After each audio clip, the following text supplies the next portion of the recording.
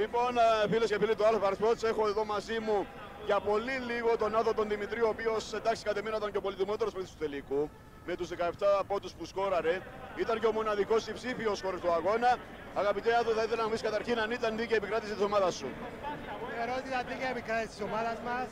Ένα μεγάλο μπράβο για στον Αχιλέα Καμακλού γιατί κάνει μεγάλη προσπάθεια και αυτοί. Ξεκινήσανε καλά το παιχνίδι, εμείς όχι τόσο.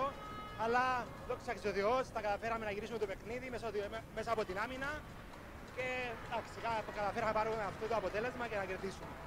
Εγώ θέλω να ευχαριστώ στους παίχτες μου γιατί ήμασταν ομάδα όλοι μαζί σε αυτό το παιχνίδι, το πιστέψαμε και τελικά το κερδίσαμε το παιχνίδι. Ε, Πάντως, πρωτού σε αποδεδειγμένο, πρέπει να σου πω ότι όσο και να είναι, οι συμπαίκτες σου σε βοήθησαν να κάνεις και ένα σπουδαίο ατομικό ρεκόρ.